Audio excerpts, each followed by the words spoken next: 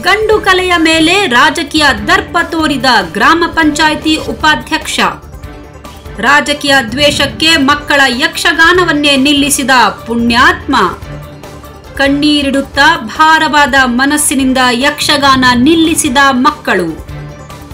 ಆನೆಗಳ್ಳಿ ಗ್ರಾಮ ಪಂಚಾಯತ್ ಉಪಾಧ್ಯಕ್ಷ ಉದಯ್ ಪೂಜಾರಿ ವಿರುದ್ಧ ಆಕ್ರೋಶ.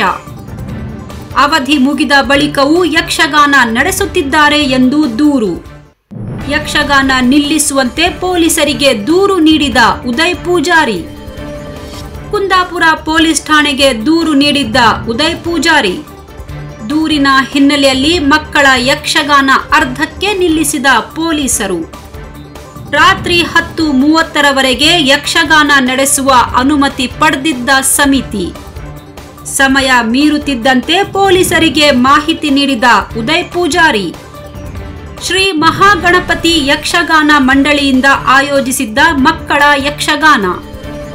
ಭಾಗವತರ ಅನಾರೋಗ್ಯದ ಹಿನ್ನೆಲೆಯಲ್ಲಿ ಒಂದು ಗಂಟೆ ತಡವಾಗಿ ಪ್ರಾರಂಭವಾಗಿದ್ದ ಯಕ್ಷಗಾನ. ನಿಮ್ಮ ಮಗ ಕೃಷ್ಣ ಬಂದು ಬಂದು. ಹೌದು ಅಮ್ಮ. ಅಯ್ಯೋ ದೇವ್ರೆ ಹೌದೇನ ಕೃಷ್ಣ? ವಿಷಯ ಏನಂತ ಗೊತ್ತಾಗ್ಲಿಲ್ಲ ಅಮ್ಮ.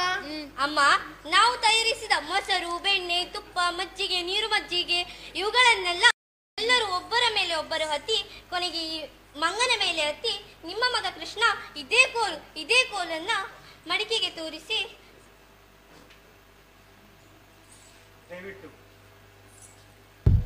ದಯವಿಟ್ಟು. ಪುಟಾಣಿಗಳು ಕೂಡ ನಮ್ಮನ್ನ ಕ್ಷಮಿಸಬೇಕು. ಯಾಕಂದ್ರೆ ಇವತ್ತು ಪರಮ ಪಾವನವಾದಂತಹ ಒಂದು ಯಕ್ಷಗಾನ ಕಲೆ. ಇದನ್ನ ನಡೆಸಲಿಕ್ಕೆ ನಮಗೆ ತಡೆ ಒಡ್ತಾ ಇದ್ದಾರೆ. ತಡೆ ಒಡ್ಡಿದ್ದು ಬೇರೆ ಯಾರಲ್ಲ?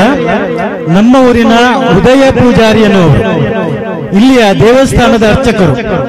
ಅವರು ಪೊಲೀಸ್ ಸ್ಟೇಷನ್ಗೆ ಕಂಪ್ಲೇಂಟ್ ಮಾಡಿ ಪೊಲೀಸ್ನವರು ಇಲ್ಲಿಗೆ ಆಗಮಿಸಿದ್ದಾರೆ.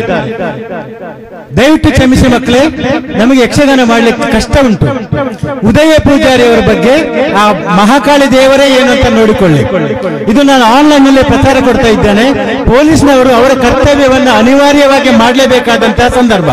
ಯಾಕೆಂದ್ರೆ ನಾವು ಇವತ್ತು ಹತ್ತೂವರೆಯ ತನಕ ಮಾತ್ರ ನಾವು ಪರ್ಮಿಷನ್ ತಗೊಂಡಿದ್ದೇವೆ. ಸಾಧ್ಯ ಆದ್ರೆ ನಾಳೆಯಿಂದ ಇನ್ನೂ ಒಂದು ಗಂಟೆ ಎಕ್ಸ್ಟೆನ್ಷನ್ ಕೇಳ್ತೇವೆ. ಕೊಡ್ಲಿಲ್ಲ ಅಂದ್ರೆ ಯಕ್ಷಗಾನ ಕಾರ್ಯಕ್ರಮ ನಮಗೆ ಮಾಡ್ಲಿಕ್ಕೆ ಆಗುದಿಲ್ಲ. ಆ ಮಹಾಂಕಾಳಿಯ ಮೇಲೆ ಭಾರ ಇಟ್ಟು ಕಾರ್ಯಕ್ರಮವನ್ನು ನಿಲ್ಲಿಸಲಿಕ್ಕಿದ್ದೇವೆ ನಾವು.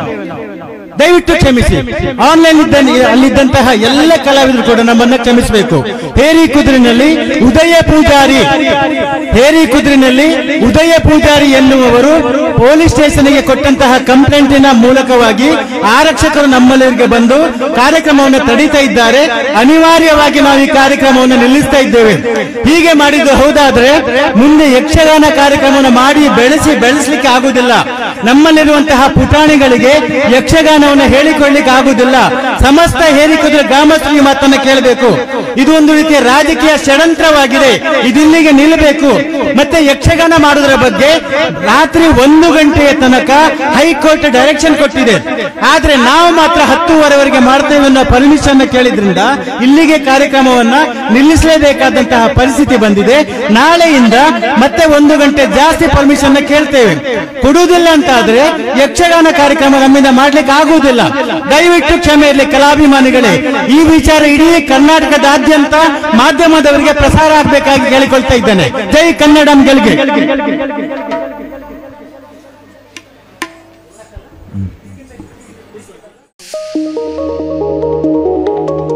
ಇದು ಪಬ್ಲಿಕ್ ಇಂಪ್ಯಾಕ್ಟ್ ಜನಶಕ್ತಿಯೇ ನಿರ್ಣಾಯಕ.